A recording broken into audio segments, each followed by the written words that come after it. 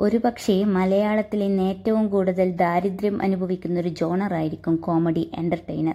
ആദ്യാവസാനം പ്രേക്ഷകനെ ചിരിപ്പിച്ച് രസിപ്പിക്കുന്ന സിനിമകൾ കിട്ടാൻ ഇന്ന് ഒരുപാട് കാത്തിരിക്കേണ്ട അവസ്ഥയാണ്.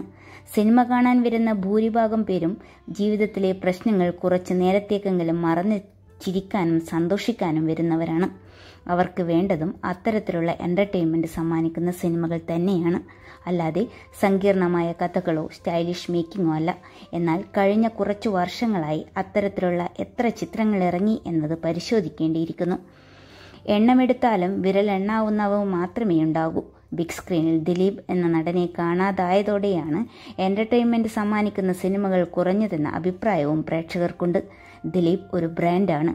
കുടുംബ പ്രേക്ഷകരുടെ പ്രിയങ്കരനമായ ജനപ്രിയ ബ്രാൻഡ്.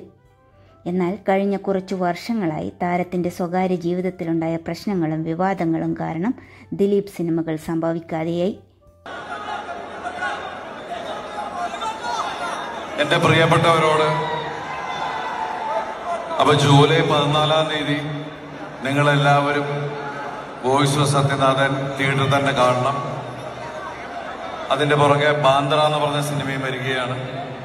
ഇവിടെ വന്നിരിക്കുന്ന എല്ലാവർക്കും ഐശ്വര്യത്തിന്റെ നല്ല നാളുകൾ നേരുന്നു. വീണ്ടും വീണ്ടും ഉയർച്ചയിലേക്ക് എല്ലാ സമൃദ്ധിയും. പണ്ടൊക്കെ ഫെസ്റ്റിവൽ സീസണുകളിൽ തിയേറ്ററുകൾ പൂരപ്പറമ്പാക്കിയിരുന്നത് ദിലീപ് സിനിമകളായിരുന്നു. രണ്ടായിരത്തിന് ശേഷം റിപ്പീറ്റ് വാല്യൂ ഉള്ള സിനിമകളും തിയേറ്ററിൽ എല്ലാ പ്രേക്ഷകരെയും സംതൃപ്തിപ്പെടുത്തിയ സിനിമകളും ഏറ്റവും കൂടുതലുള്ളത് ദിലീപിന്റെ പേരിലാണ്. കഴിഞ്ഞ കുറച്ച് വർഷങ്ങളായി നല്ലൊരു വിജയം ലഭിച്ച സിനിമ ദിലീപിന്റെ പേരിൽ ഉണ്ടായിട്ടില്ല. അതുകൊണ്ട് തന്നെ സ്വകാര്യ ജീവിതത്തിലെ കറകൾ ദിലീപിന്റെ കരിയറിനെയും ബാധിച്ചുവെന്ന് വിമർശകർ പറഞ്ഞു. ഇനിയുള്ള കാലം മലയാള സിനിമയിൽ ദിലീപിന് ഒന്നും ചെയ്യാൻ സാധിക്കില്ലെന്നാണ് താരം പുതിയ സിനിമകൾ പ്രഖ്യാപിക്കുമ്പോൾ വരാറുള്ള പ്രധാന വിമർശനം. എന്നാൽ ജനപ്രിയൻ എന്ന ടാഗ് ലൈൻ മലയാളി മറ്റാർക്കും കൊടുത്തിട്ടില്ലെന്നതിന്റെ ഏറ്റവും പുതിയ തെളിവാണ് ദിലീപിന്റെ ഖത്തറിൽ നിന്നുള്ള വീഡിയോ. ഏറ്റവും പുതിയ സിനിമ വോയിസ് ഓഫ് സത്യനാഥന്റെ പ്രൊമോഷനുമായി ഖത്തറിലെത്തിയ ദിലീപിന് ഗംഭീര സ്വീകരണമാണ് പ്രവാസി മലയാളികൾ നൽകിയത്. പ്രൊമോഷൻ പരിപാടി സംഘടിപ്പിച്ച മാളിന്റെ രണ്ട് നില നിറയെ മലയാളികളെ കൊണ്ട് തിങ്ങി നിറഞ്ഞു.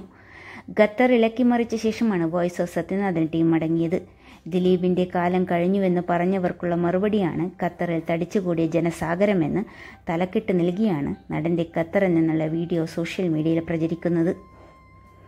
ഏത് പ്രതിസന്ധി വന്നാലും ദിലീപിന് ലഭിക്കുന്ന ജനസ്വീകാര്യത കുറയില്ലെന്നും വീഡിയോ വൈറലായതോടെ ആരാധകർ കുറിച്ചു. പെട്ടെന്നൊന്നും ദിലീപ് ഫീൽഡ് ഔട്ടാകുമെന്ന് വിമർശകർ കരുതേണ്ടെന്നും കമന്റുകളുണ്ട്.